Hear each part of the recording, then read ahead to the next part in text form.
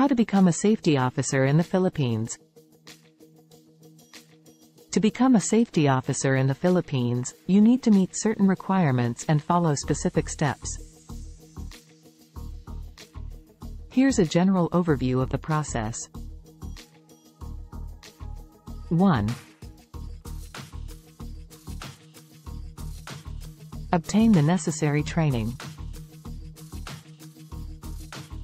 To obtain the necessary training for safety in the Philippines, you can consider the following options. 1. Occupational Safety and Health Center, OSHC. OSHC offers a comprehensive range of safety training programs and certifications. 1. Some of their courses include Basic Occupational Safety and Health, BOSH, training course. This is a 40-hour training program that covers the fundamentals of occupational safety and health. It is recommended for safety officers, safety practitioners, and individuals responsible for workplace safety. Construction Occupational Safety and Health, COSH, training course.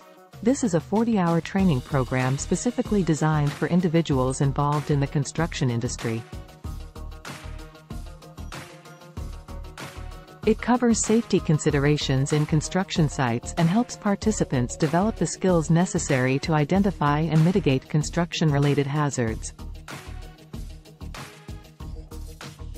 Specialized Safety Training Courses OSHC also provides specialized training programs on topics such as fire safety, hazardous waste management, machine safety, occupational health, and more.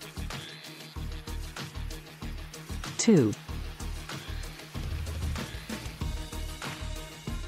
Gain relevant work experience. To enhance your knowledge and skills in occupational safety, it's beneficial to acquire work experience in the field.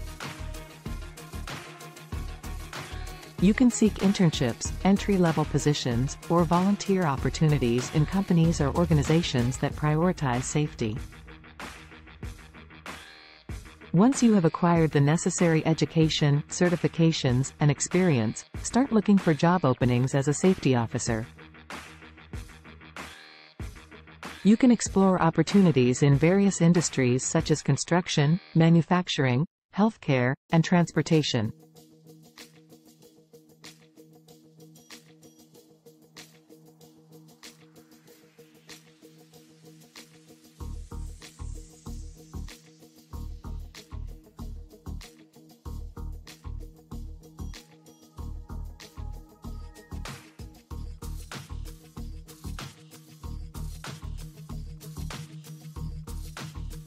Update your resume to highlight your relevant qualifications and submit applications to companies or organizations that prioritize safety.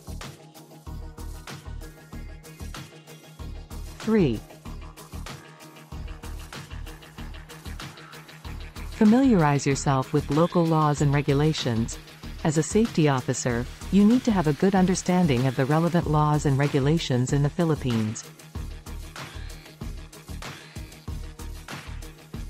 Familiarize yourself with the Occupational Safety and Health Standards, OSHS, set by DOL and other industry-specific guidelines. 4. Network and join professional organizations. Connecting with other safety professionals through networking events and joining industry associations can provide valuable opportunities for learning, collaboration, and career advancement.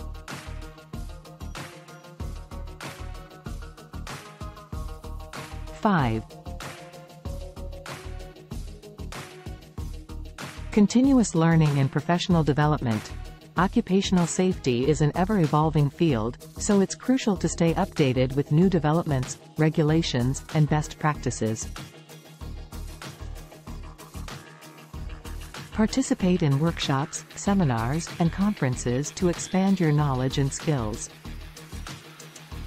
Remember that specific requirements and processes may vary depending on the employer and industry.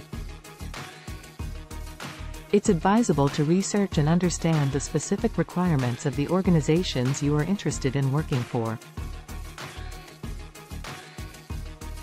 Thanks for watching.